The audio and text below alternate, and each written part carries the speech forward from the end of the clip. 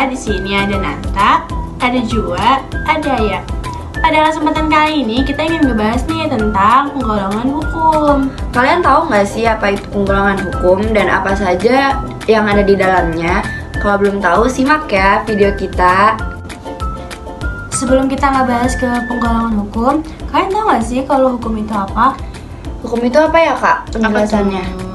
Hukum adalah suatu kaidah atau aturan yang mengikat masyarakat. Eh, melalui hukum, penguasa dapat mengontrol tingkah laku masyarakat sehingga keter- ketertiban umum bisa diraih. Eh, hukum diklasifikasikan ke dalam beberapa golongan, mulai dari sumber, bentuk, sifat, tempat berlaku, waktu berlaku, dan sebagainya. Nah, itu penjelasan dari Jua. Sekarang kita masuk ke materi penggolongan hukum. Sumber hukum itu adalah asal mula hukum, yakni segala sesuatu yang menimbulkan aturan-aturan hukum sehingga mempunyai kekuatan meningkat.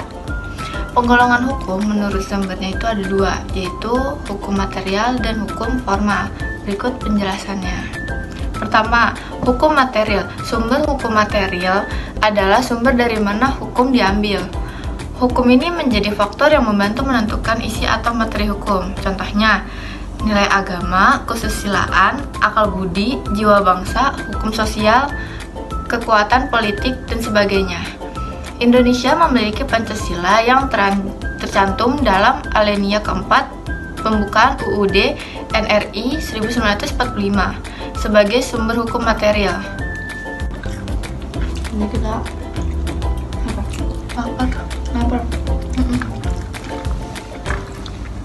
Ya Allah. Kak. Yang kedua, yang kedua itu ada hukum formal. Sumber hukum formal adalah suatu, sumber suatu peraturan memperoleh kekuatan hukum. Sumber ini meliputi lima hal. Apa aja tuh kak isinya? Apa ya? Yang pertama itu ada undang-undang. Undang-undang meliputi peraturan perundang-undangan yang dibuat oleh penguasa. Di Indonesia, jenis peraturan perundang-undang ini diatur dalam pasal 7 ayat 1.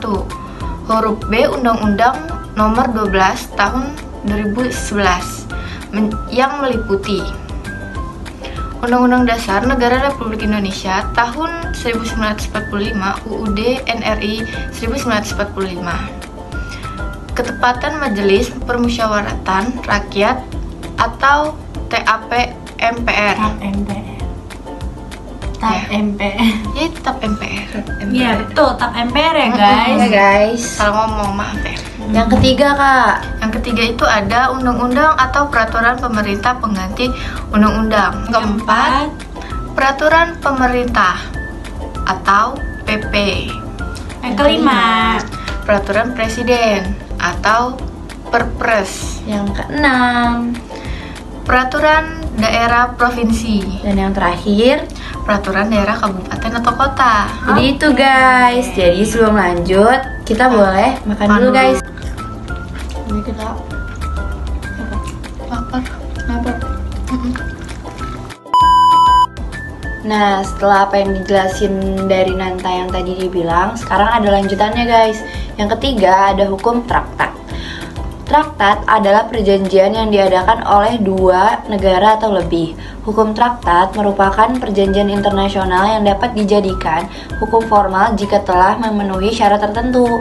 Perjanjian ini terjadi karena adanya kita kata sepakat dari pihak-pihak negara yang bersangkutan dan juga turut ikut mengikat warga negaranya sendiri, guys.